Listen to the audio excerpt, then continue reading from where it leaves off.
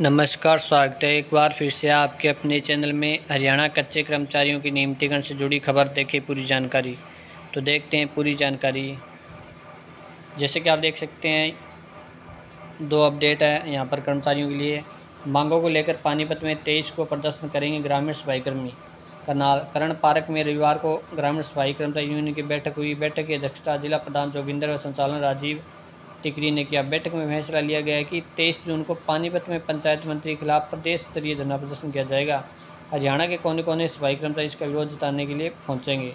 दूसरी खबर यहाँ देख लेते हैं। नियमित करने की मांग को लेकर 25 जून को कुरुक्षेत्र में गरजेंगे गेस्ट टीचर्स, राजधानी हरियाणा। 18 साल से नियमित करने की मांग को लेकर बारह अतिथि अध्यापक एक बार फिर से सड़क पर उतरेंगे। संघ के प्रदेश महासचिव राजीव चंदाखेड़ी ने कहा कि भाजपा ने अतिथि अध्यापकों को चुनावी घोषणा पत्र में रेगुलर करने का वादा किया था, लेकिन सत्ता में आते भाजपा सरकार बदल गई। महासचिव ने कहा कि अतिथि अध्यापक पच्चीस जून को कुरुक्षेत्र मुख्यमंत्री नायब सिंह सैनी के सेक्टर तीन स्थित आवास पर मारेली करेंगे।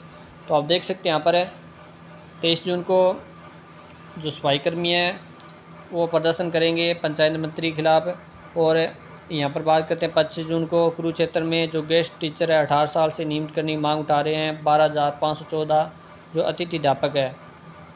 तो अब पच्चीस जून को कुरुक्षेत्र में मुख्यमंत्री नायब सिंह सैनी के आवास पर मारेली करेंगे।